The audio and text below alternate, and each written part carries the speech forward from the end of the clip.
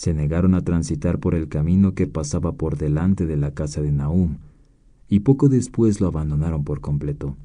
Arguían que se debía a la extraña vegetación que crecía por allí.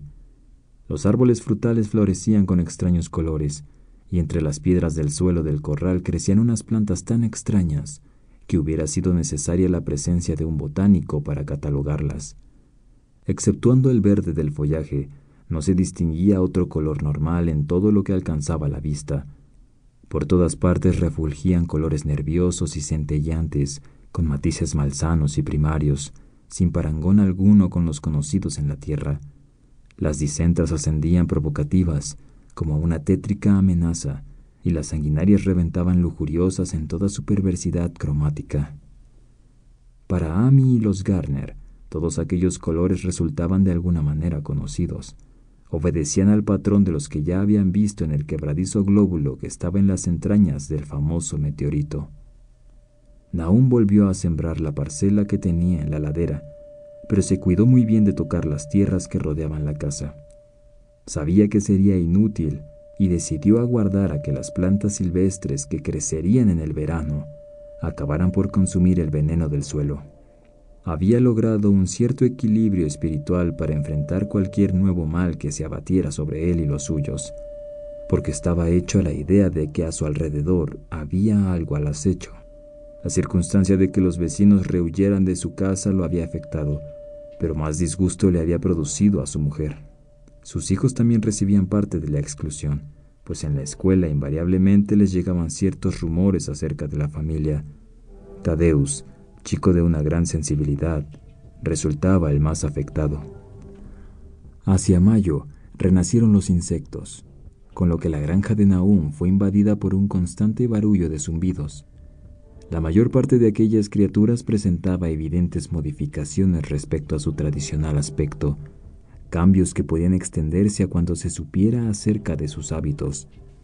Los Garner se dieron a observar durante la noche, en principio sin saber muy bien por qué, y así pudieron verificar que cuanto decía Tadeus con respecto al movimiento de los árboles era absolutamente cierto.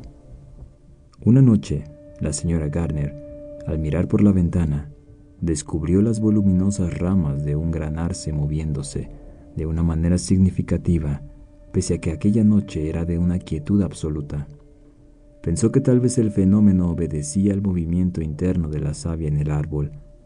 En efecto, algo extraño ocurría con todo lo que crecía en la naturaleza. El próximo descubrimiento no fue patrimonio de los Garner. El acostumbramiento había ido embotando sus sentidos y los que ellos ya no lograban discernir, pudo descubrirlo el tímido vencedor de molinos. Pudo descubrirlo el tímido vencedor de molinos de viento de Bolton, quien por completo ajeno a las historias que circulaban sobre aquellos parajes, dio en pasar despreocupado por allí. Lo que el hombre refirió al llegar a Arkham alcanzó a merecer un comentario en la Gazette, y de este modo todos los granjeros de la región, entre ellos Nahum, vinieron a enterarse. Era una noche muy oscura y la luz de los faros del carruaje no proyectaba demasiada claridad. Sin embargo, existía una granja donde la oscuridad era menos densa. Debía tratarse sin duda de la de Nahum. Por encima de toda la vegetación, hierbas, hojas y arbustos, se distinguía una pálida, aunque perfectamente identificable luminosidad. En determinado momento, un fragmento de esa luminosidad pareció introducirse subrepticiamente en el establo que estaba junto a la cuadra. Por ese entonces, la hierba silvestre parecía mantenerse al margen de los extraños fenómenos, por lo que se dejaba que las vacas pasieran en total libertad. Sin embargo, a fines de mayo la leche comenzó a agriarse. Fue el aviso para que Nahum se llevara las vacas a la ladera, con lo cual todo volvió a curso normal. Poco después, los cambios en el pasto resultaron evidentes.